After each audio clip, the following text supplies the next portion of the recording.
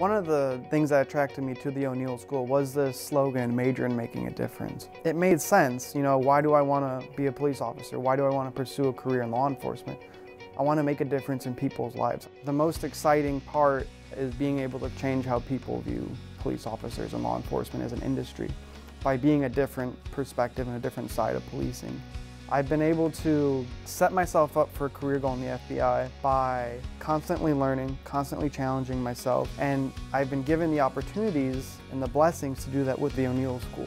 Coming to Indianapolis was a big move for me. I came because of the criminal justice and public safety program, and I was also sold on the Indiana University Cadet Officer program. You get to have experiential activities of going out, seeing what it's like, getting that real world perspective.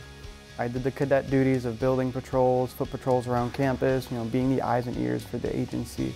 And then through that, we got to go to the police academy. It's the only police academy in the country that is through a university. And it's a satellite of the Indiana Law Enforcement Academy. You become a fully certified police officer and then you work part-time as you finish off your degree.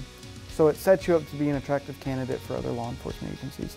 If I was to recommend O'Neill to a prospective student, I would say the O'Neill School is a place where you can challenge yourself. No one's going to deter you. They're just going to tell you, here's what we can do to help you succeed.